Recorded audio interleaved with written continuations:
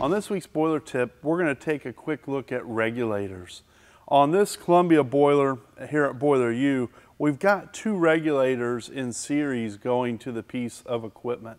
And sometimes we get questions, why is that? And that, and that raises the question, how do we select the right regulator for a piece of equipment?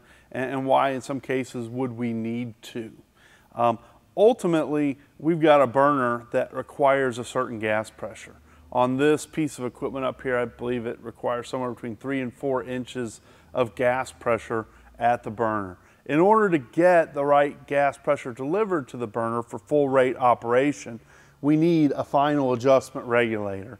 And that spring range, which gives us our output pressure range, gives us the ability to adjust the final delivery pressure to the burner. Now, unfortunately, when this piece of equipment was delivered, the final adjustment regulator is not rated for our plant pressure. So our plant pressure here is 6 psi, and this regulator has a maximum allowable inlet pressure of, of maybe 14 to 28. Um, it's important to look up the model of the regulator you've got to see what that limit is. But this regulator, uh, the Maxitrol 210, is rated for 10 psi max. So what we're doing is we're stepping down the plant pressure to a pressure that our final adjustment regulator can manage.